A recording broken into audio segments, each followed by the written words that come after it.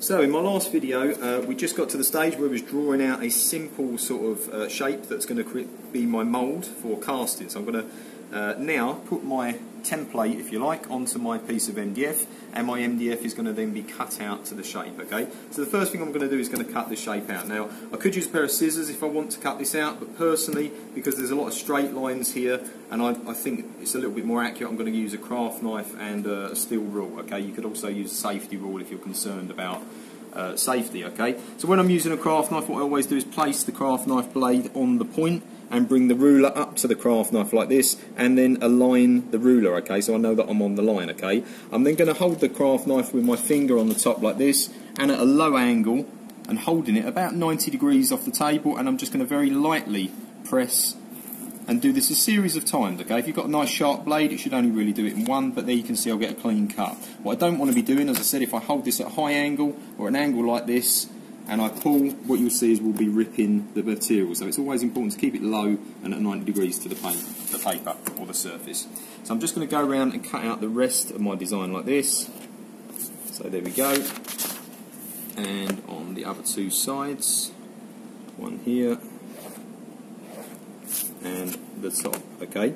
Now, a lot of students, what they'll do is they'll cut out this section in the middle as well, okay? But there's no real reason to do this because ultimately if I cut this section out, it's likely that it will be harder to see what I'm actually cutting. What I want to see is nice bold lines like that so it's easier for me to cut and work with accuracy. Now another thing you can do to make sure that you don't cut in the wrong areas is I like to kind of put some cross hatching or just hatching in one direction like this going across the design so I know what my waste material is, okay? So it's important to mark out the waste because then you know exactly what you can and can't cut out on the design. So I know that area in the centre is my waste material. Okay. What I'm now going to do is stick this onto my wooden uh, mould part, okay? And I'm just going to use uh, some Pritt stick or glue stick uh, to do this, okay?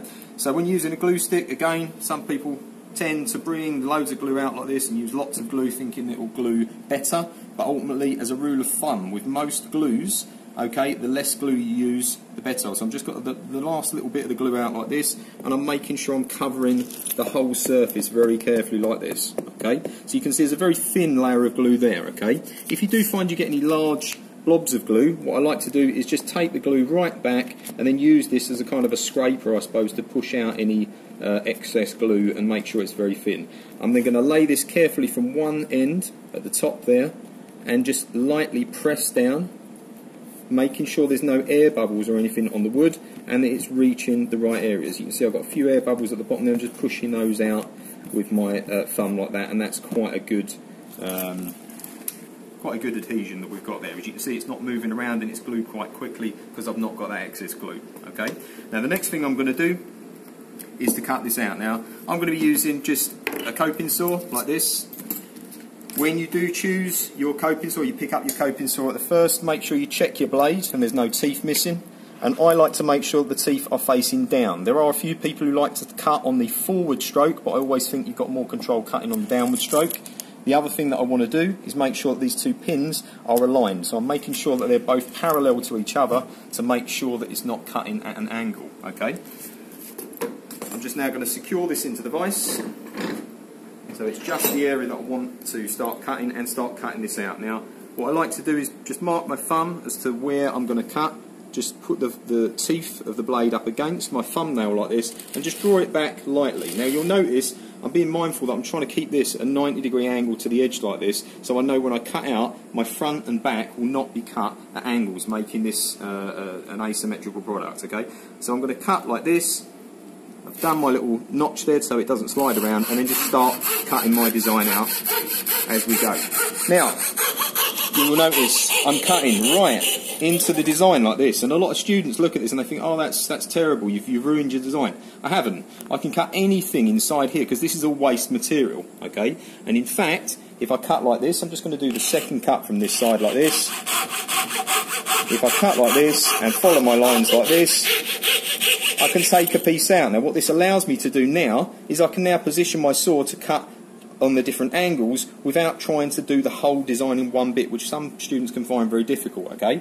Now, the other thing I find is rather than moving my hand round or moving the blade round, it's often easier to move the design round to do my next cut. As you can see, I've got this nice big space, so I can now bring my design in and start cutting my next design.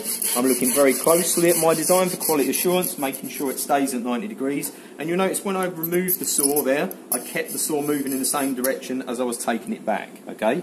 Now again, I've cut down to that point. It's going to be very hard to advance my saw and get around that corner. So rather than making it hard for myself, I'm going to start over here and then start cutting in and angling my saw as I cut to get into that corner just down there. And again, I can take another piece out. Now what I can keep doing now is moving around my design part by part and taking this out each section at a time. Always moving my design, not moving my hand and trying to maintain that downward cut position. Okay, I'm going to cut the rest of this out and then we'll move on to the next stage in a second.